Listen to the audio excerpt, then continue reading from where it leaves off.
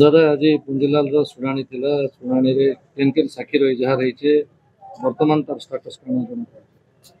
આજે 11 નંબર સાક્ષી તાંકર બયાન દેલે ભોલાનાથ મેહર યાર কম্পুটর দোকানর কিছু সামান জপ্তি করেছিল বলে প্রসিকিউশন ক্লেম করুছন সাক্ষী তাঁর বয়ান দেলে তাঁর ক্রস হল যেহেতু পাঁচ ছ বর্ষ হলান গোটে মামলা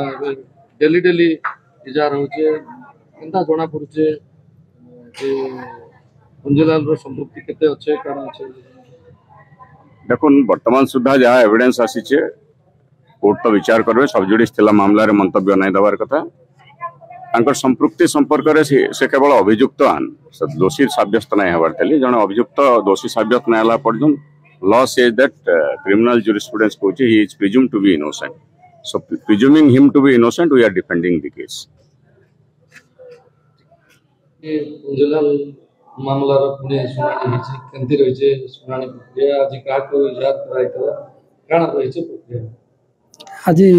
আমার এগারো নম্বর প্রসিকিউশন উইটনেস যে তার সাক্ষী ইজার হয়ে যাইছে তার জেরা মধ্যে হয়েছে সে তার কোর্টরে আজ ইজার সরি যাইছে কে সেটা সাক্ষী ভোলানাথ মেহের বলিকি তার ইজারটা সরি যাইছে এই মামলার অ্যাকচুয়ালি তার ভূমিকাটা কেমন গুরুত্বপূর্ণ ନାଇଁ ସେ ଗୋଟେ ଗୋଟେ ଜପ୍ତି ତାଠୁ କିଛି ଜପ୍ତି ହେଇଥିଲା ଏ ଯେଉଁ କିଛି ଜପ୍ତି ହେଇଥିଲା ବାକି ତ କେସ୍ ବିଷୟରେ ମୁଁ ଡିଟେଲ କହିବା ପାଇଁ କହିବା କହିପାରିବି ନାହିଁ ମଧ୍ୟ ତାଙ୍କୁ ଆଣିବାରେ ଟିକେ ଡେରି ହେଇଥିବ ସେ ବିଷୟ ମୁଁ କହିପାରୁନି କିନ୍ତୁ ତାଙ୍କୁ ତାଙ୍କ ଓକିଲ